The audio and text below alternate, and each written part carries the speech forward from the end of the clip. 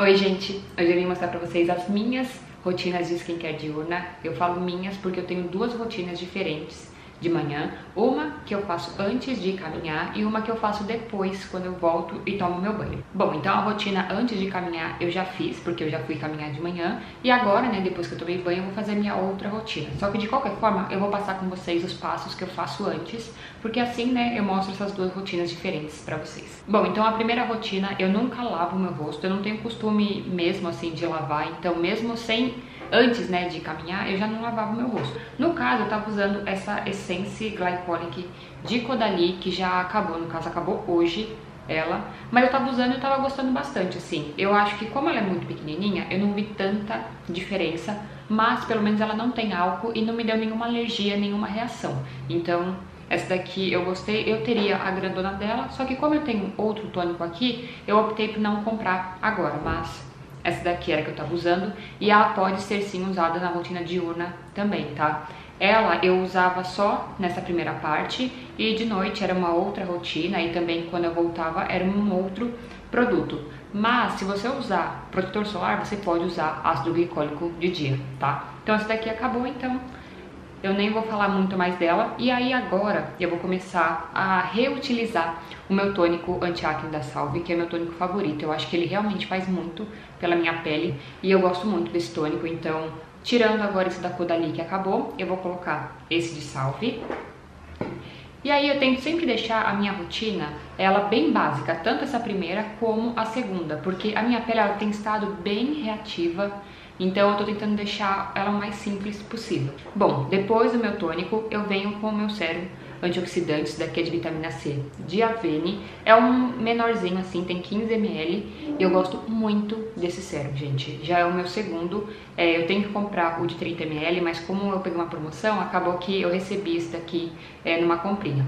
E ele é muito, muito bom porque é muito suave na pele, tem um cheirinho, então quem tem um pouquinho de alergia à fragrância, tem fragrância, mas é super leve, tá? Eu mesma que não gosto, super me adaptei com ela.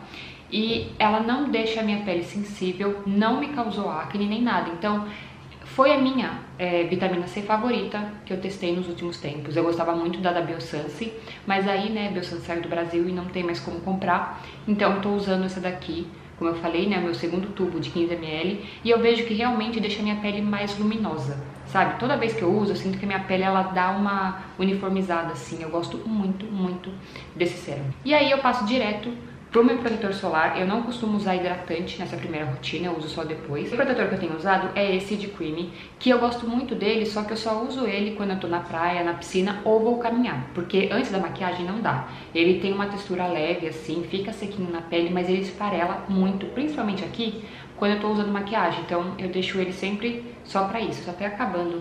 Já eu vou mostrar a textura pra vocês, porque ó, tá vendo que ele é bem aquoso? E ele não é um protetor ruim, é só que com maquiagem não tem como. Então, ele espalha muito bem. Só que ele pode, sim, deixar um pouquinho de aspecto esbranquiçado. Na minha viagem pra Bahia, é, quando eu tava um pouquinho mais bronzeada, eu fui passar e eu vi que ficou levemente esbranquiçada a minha pele. Então, realmente, é um produto que eu só uso para essas ocasiões. Se ele funcionasse embaixo da maquiagem, ia ser muito bom, porque ele é bem sequinho, sabe? Mas como não funciona, eu só deixo ele pra caminhada mesmo. E aí, eu passo já para os meus lábios. Para os lábios eu costumo hidratar, só que como eu tenho esse protetor labial FPS 30 de salve, eu gosto de usar também, porque assim, não dá pra ver tanta diferença agora, né? Mas essa área ao redor dos lábios, a gente vai perdendo a coloração, né? Então, o máximo que eu consigo hidratar, e eu posso usar agora também. Gente, isso aqui é tão levinho que dá pra usar o dia inteiro. E não tem gosto, tá? Mesmo tendo o protetor solar, Nele não tem gosto, então é super tranquilo de usar. Outro que eu tenho também que tem FPS é esse aqui da Lip Ice, só que aí o FPS dele é 15 e o da Salve é 30. E ele é gostosinho, esse daqui é de morango e ele é mais barato, dá pra comprar um kitzinho dele com outros dois, que é esse daqui de maçã verde, que também é muito gostoso, e esse que não tem sabor nenhum, que é um azulzinho. Eu ganhei um kitzinho desse com três e o preço é bem legal, a única coisa só que o FPS dele é menor, tá? Mas ele também é muito gostoso porque ele é de morango e é bem suave, assim, não fica com gosto nos lábios, sabe?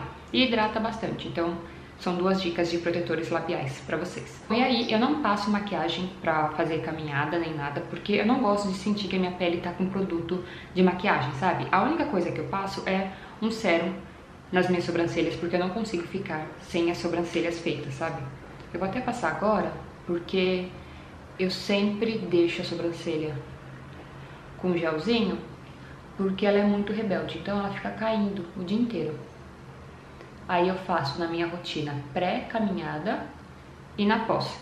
Se eu vou sair, né, fazer maquiagem, eu prefiro usar o da Karen, porque eu acho que ele realmente segura bem. Mas pra caminhada, esse daqui da Balmy, ele é baratinho e ele dá super certo. Ele não fica peguento, não deixa a sobrancelha dura e também não deixa ela cair. Então, pra mim esse daqui tá de bom tamanho. Eu uso ele como parte da rotina de skincare mesmo e não como maquiagem tá? Bom, aí fui caminhar. Gente, eu admito que assim, no corpo eu não passo nada. Eu não costumo passar protetor solar no corpo porque a gente vai antes das 10 horas. Então é um horário que o sol tá até gostosinho, sabe? E se der uma queimadinha, eu não ligo. Por mais que a gente devesse passar, né? Então eu não uso nada no corpo. Bom, aí a gente volta da caminhada e eu só lavo meu rosto no banho. Eu uso o sabonete que tiver lá, no momento tá da Biosense, que eu tô terminando com ele, mas qualquer sabonete é só pra poder lavar mesmo, porque aí eu fico suada e eu gosto de lavar o rosto quando eu tô suada. Aí quando eu saio do banho, eu já vou direto pro meu sérum, e aí eu já vou aplicar aqui com vocês, porque eu não fiz a minha skincare ainda. Dá pra ver que eu ainda tô de cabelo molhado, né? E eu tenho usado esse Cleanance, que é um sérum pra acne de Avene. Eu comprei esse daqui e aí que eu ganhei o sérum de vitamina C. Se você não tá no meu grupo lá no Instagram ou então lá no Telegram, você não viu essa promoção, mas se você comprasse qualquer produto de Avene, você ganhava uma vitamina C. Foi assim que eu ganhei a minha. Esse daqui, ele tem álcool, mas o álcool dele é álcool isopropílico. Eu não sei qual é a diferença dos álcools e eu não tinha visto. E vocês sabem que eu tenho um pouco de alergia a álcool, né? Eu vou colocar um pump aqui ele, na verdade, eu dou meio pump, porque um pump dele eu acho que é muito pro meu rosto. Ele tem, sim, um cheirinho de álcool. Ele tem uma textura muito boa, assim como o sérum de Avene, a textura dele é muito boa, assim, ele absorve muito bem na pele e espalha muito bem também. Então, o que que eu faço? Quando eu vou aplicar no rosto, eu seguro a respiração, porque eu não gosto de sentir cheiro de álcool. Só que esse álcool, eu não sei se é muito diferente dos outros tipos de álcool que me dão é, reação, mas ele não me deu nada. Eu fico sem respirar, pra não poder sentir esse cheiro de álcool, enfim. E esse tempinho que eu fiquei falando com vocês, que eu coloquei na minha mão, ele já secou. Porque justamente o álcool, ele geralmente é usado em produtos de skincare porque ele seca muito bem na pele, né? Deixa a pele sequinha, só que infelizmente a minha pele tem alergia. E aí ficou meio sequinho na hora de passar, mas meio pump dele, gente, serve pro rosto todo, tá? E eu tenho até gostado muito dele. As minhas acnes, elas são mais pontuais, assim, e às vezes é mais por conta de alguma reação alérgica do que tanto por acne hormonal, sabe? Então, pro que eu tô precisando, ele funciona muito bem. Eu não sei se para todos os tipos de acne ele funciona, mas eu comprei ele porque eu vi muita review boa na internet sobre. Se você já usou, me deixa aqui nos comentários qual foi a sua sua experiência com esse produto, porque eu tenho gostado e como eu tô tentando deixar minha rotina mais simples, eu tô usando um sérum anti-acne, que é o que eu tô precisando no momento. E aí eu tento deixar é, uma rotina mais de limpeza, de tratamento, hidratação e proteção, só.